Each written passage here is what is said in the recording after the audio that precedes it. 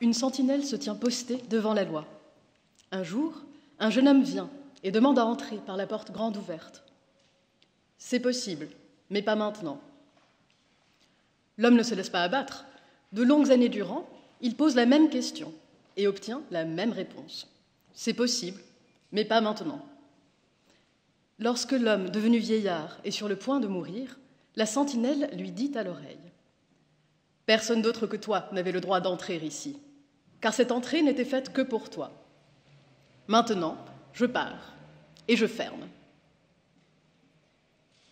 Lorsque la justice recherchée tient peut-être à un je ne sais quoi, à un presque rien, il ne reste plus qu'à essayer, essayer et essayer encore. Monsieur le Président, Madame la professeure, Mesdames et Messieurs les membres du Conseil de l'Ordre, Mesdames et Messieurs les secrétaires, Mesdames, Messieurs, tel l'homme de la parabole, le salarié requérant s'obstine. Et tel l'homme de la parabole, sa requête est vouée à l'échec, mais pas à la répétition. Il vous appartient de les conduire pour de bon. Exposé à des poussières d'amiante au travail, le requérant a obtenu devant la Cour d'appel de Paris l'indemnisation de son préjudice d'anxiété. Mais la Cour n'a pas vérifié si l'établissement employeur était sur la liste établie par la loi. Fidèle à sa jurisprudence, la Chambre sociale a cassé la décision et renvoyé l'affaire. La Cour de renvoi, elle, a bien procédé à la vérification exigée. L'établissement n'est pas sur la liste. La demande d'indemnisation est rejetée le 5 juillet 2018. L'affaire aurait dû s'arrêter là. Hélas, l'arrêt n'est jamais signifié. Le délai de deux mois ne court pas. Le 5 avril 2019, vous avez ouvert la réparation du préjudice d'anxiété à tout salarié exposé, que l'établissement figure sur la liste ou non. Qu'à cela ne tienne, près d'un an après l'arrêt, le demandeur se pourvoit en cassation. Il reproche à la Cour d'appel d'avoir suivi la Chambre sociale de 2016 sans anticiper l'Assemblée plénière de 2019. La question qui vous est posée est la suivante. Le moyen critiquant la décision par laquelle une juridiction de renvoi s'est conformée à la doctrine de l'arrêt de cassation qu'il avait saisi est-il recevable lorsqu'est invoqué un changement de norme intervenu postérieurement à cet arrêt? Cette question non plus n'est pas nouvelle. Vous avez déjà répondu par la négative en 1971 et de nombreuses fois depuis. Comme la sentinelle, vous donnerez la même réponse. Mais contrairement à elle, vous fermerez définitivement la porte de la justice à un tel moyen. Car si chez Kafka, le procès est absurde et l'espoir est cruel, devant vous, c'est tout le contraire. Pour juger le moyen irrecevable, il suffit d'une part de reprendre la logique du pourvoi, qui dicte la solution, et d'autre part de suivre l'évolution du droit, qui la confirme. Vous ne cultiverez ainsi que des espoirs légitimes. La logique du pourvoi, d'une part, Selon la breakfast theory, la théorie du petit déjeuner, les juges seraient comme l'essence de Scrooge. Un léger dérangement dans l'estomac et ils changent d'avis. Une tranche de bœuf mal digérée, une demi-cuillerée de moutarde, un morceau de fromage, un fragment de pomme de terre mal cuite. Il suffirait d'un rien pour que la même question, posée par les mêmes parties, dans la même affaire et devant le même juge, prenne une tournure différente. Pour contrer ce spectre, comme chez Dickens, deux esprits vous guident d'abord. L'esprit des décisions passées, d'abord, l'interprétation constante du texte, et l'esprit des décisions présentes, ensuite, qui conclut le dialogue des juges. Une interprétation constante, d'abord. En 1971, l'article 15 de la loi du 3 juillet 1967 prévoit que la Cour de cassation doit statuer en assemblée plénière lorsqu'après cassation d'un premier arrêt ou jugement rendu en dernier ressort, le deuxième arrêt ou jugement rendu dans la même affaire, entre les mêmes parties, procédant en la même qualité, est attaqué par les mêmes moyens. Vous en avez déduit que n'était à contrario pas susceptible de saisir la Cour de cassation des moyens différents, critiquant la doctrine de l'arrêt de renvoi. Autrement dit, la Cour de cassation ne peut être appelée à revenir sur sa doctrine affirmée en son premier arrêt, lorsque la juridiction de renvoi s'y est conformée. Le moyen était donc irrecevable. Aujourd'hui, Une disposition quasi identique est inscrite aux articles L431-6 du Code de l'organisation judiciaire et 619 du Code de procédure pénale. Entre-temps, la Cour de cassation a réaffirmé l'irrecevabilité 239 fois, dont plusieurs fois en assemblée plénière.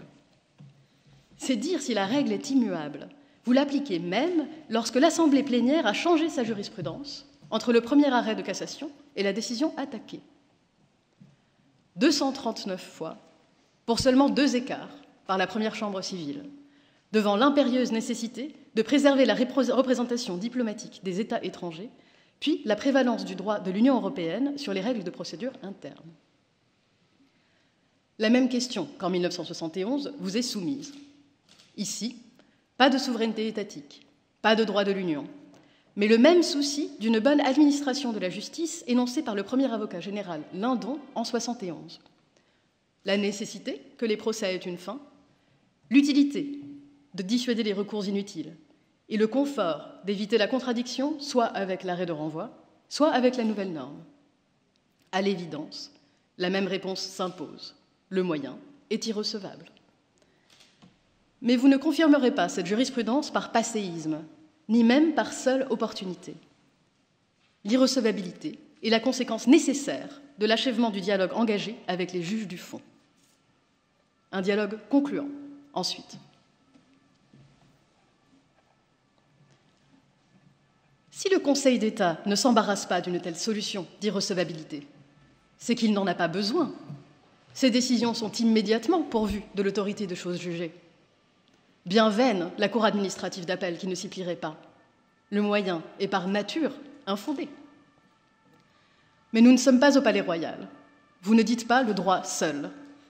L'ordre judiciaire valorise le désaccord des juges du fond.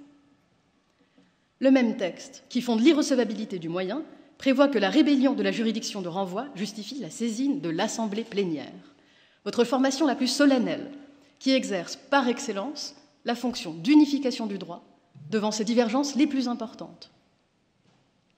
Mais, sous peine de mettre en péril l'édifice, la contradiction ne peut durer qu'un temps. La deuxième juridiction de renvoi doit se conformer à la décision de l'Assemblée plénière sur les points de droit jugés par celle-ci. De même, il serait inadmissible qu'un nouveau pourvoi sème la discorde là où les juges ont atteint l'harmonie. Lorsque la Cour d'appel adopte la doctrine de l'arrêt de renvoi, le juge du fond et le juge du droit se sont trouvés. Sur une même question, devant les mêmes parties, l'articulation du fait et du droit est acquise. Quel besoin d'aller chercher plus loin? Vous ne croquerez pas dans la pomme.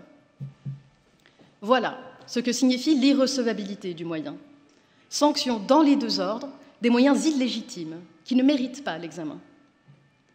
La solution consacre ainsi une deuxième fois le rôle de la juridiction de renvoi, non seulement lorsqu'elle se rebelle contre votre doctrine, mais également lorsqu'elle l'adopte. La solution évite de transformer cette richesse, le dialogue qui enrichit le droit, en un piège, la contradiction permanente qui le paralyserait. L'esprit des décisions passées vous rend prévisible, L'esprit des décisions présentes vous garde du solipsisme. Écoutez-les. Ils justifient une réponse négative. L'évolution du droit et l'esprit des décisions futures l'exigent. L'évolution du droit, d'autre part. On nous opposera sans doute l'application immédiate des revirements jurisprudentiels et le besoin d'adjournamento des procédures au droit subjectif des justiciables. Pourquoi le salarié n'aurait-il pas droit, lui aussi, à la nouvelle solution concernant le préjudice d'anxiété? C'est prendre le problème à l'envers. L'irrecevabilité du moyen est plus que jamais nécessaire au regard de l'évolution du droit. Elle suit le sens de l'histoire. Car c'est encore elle qui permet le mieux de protéger la substance des droits. Le sens de l'histoire, en premier lieu. Sous la pendule de la chambre criminelle est inscrite la maxime latine suivante. À travers les heures qui dévorent les choses, le droit demeure tel qu'il a été dit. Elle est doublement fausse. Le droit ne demeure pas tel qu'il a été dit. La construction prétorienne du préjudice d'anxiété en témoigne. Les heures ne dévorent pas les choses.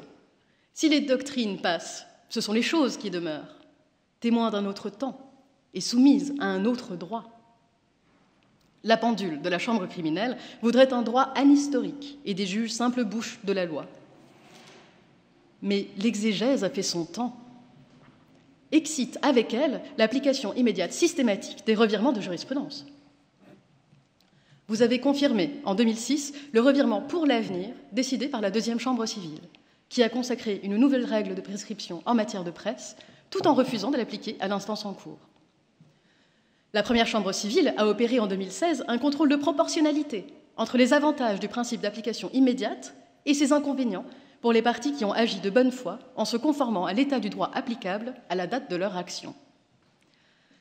Car la modulation de ces effets dans le temps est tout à la fois le revers et la consécration du pouvoir normatif de la Cour, comme l'est l'article 2 du Code civil pour le législateur la solution ancienne de l'irrecevabilité du moyen en présence d'un changement de norme en limite l'effet rétroactif et complète utilement l'arsenal moderne des règles de conflit de normes dans le temps. En évitant d'examiner le moyen, elle esquive la controverse entre zélote et pragmatique. Surtout, elle épargne au parti le rebondissement imprévisible et manifestement disproportionné de l'application d'une nouvelle norme à une affaire qui devrait être finie. Autrement dit, elle tempère les effets délétères du changement de normes sur l'essentiel des droits processuels des justiciables. La substance des droits, en deuxième lieu.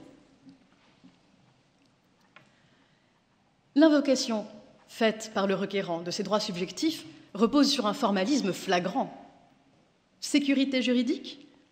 L'employeur qui a obtenu la cassation, puis la confirmation par la Cour d'appel, conformément au droit applicable, est certainement assez sûr de son coup accès au juge, le salarié en est à sa cinquième instance. Principe d'égalité, le seul mérite du salarié est d'avoir été oublié. Plaisante justice qu'une signification par huissier borde. En réalité, la solution d'irrecevabilité vient au service des droits fondamentaux matériels de tous les justiciables. 1. La différence de traitement entre le salarié d'aujourd'hui et les requérants de demain est parfaitement justifiée par l'absence de rébellion, mais aussi par l'état d'avancement de l'affaire. La Chambre sociale a jugé que seul le justiciable qui a engagé son action avant l'entrée en vigueur d'une loi de validation contraire à l'article 6, paragraphe 1 de la CEDH, pouvait faire écarter son application rétroactive au titre du procès équitable. Plaider et ne pas plaider, ce n'est pas la même chose. Avoir une décision de confirmation ou ne pas en avoir, non plus. 2. Le salarié n'est pas privé d'accès au juge, seulement du bénéfice de son moyen, comme d'ailleurs des moyens contraires à ses écritures au fond, et des moyens mélangés de faits et de droits, fussent-ils fondés. 3. Enfin, la sécurité juridique tient à ce que le même juge, devant les mêmes parties, pour la même affaire, rende la même solution. Si, par exception, l'Assemblée plénière peut revenir sur le premier arrêt de cassation après la rébellion de la juridiction de renvoi, c'est parce que le législateur l'a expressément prévu. Admettre la recevabilité d'un tel moyen, ce serait troquer un raisonnement a contrario par un, raisonnement extra, voire contra legem. Et vous avez tant à y perdre. Peut-être pourrez-vous un jour retenir les exceptions dessinées par la première chambre civile, mais pas aujourd'hui. Le ménagement d'exception exige d'abord le rappel du principe. Et ni la CEDH, ni la CJUE n'y trouveraient à redire. Les dieux avaient condamné Sisyphe à rouler sans cesse un rocher jusqu'au sommet d'une montagne, d'où la pierre retombait par son propre poids. Inlassablement, il la remonte. Immanquablement, elle redescend. Camus nous dit qu'il faut imaginer Sisyphe heureux, car il n'est pas de destin qui ne se surmonte par le mépris. L'homme de la parabole aurait dû peut-être en prendre de la graine. Et si vous jugez le moyen recevable aujourd'hui, le cycle se poursuit.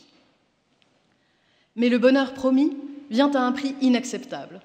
Le mépris pour l'institution judiciaire est encore plus dangereux que l'engorgement par des requêtes vaines. Laissez donc les requérants inlassablement remonter le quai de l'horloge en poussant leur affaire au prétexte d'un changement de normes, et vous aurez les deux. En vain, hélas, car le bonheur de Sisyphe est inaccessible aux requérants. Il passe par la conscience de l'absurde et la certitude de l'échec. non par l'espoir, même minime, d'une issue plus favorable. Fermer la porte de la recevabilité du moyen, c'est affirmer votre rôle normatif dans l'ordre judiciaire. C'est aussi épargner aux partis l'incertitude de leur victoire comme de leurs échecs dès la décision conforme de la juridiction de renvoi. Vous rejetterez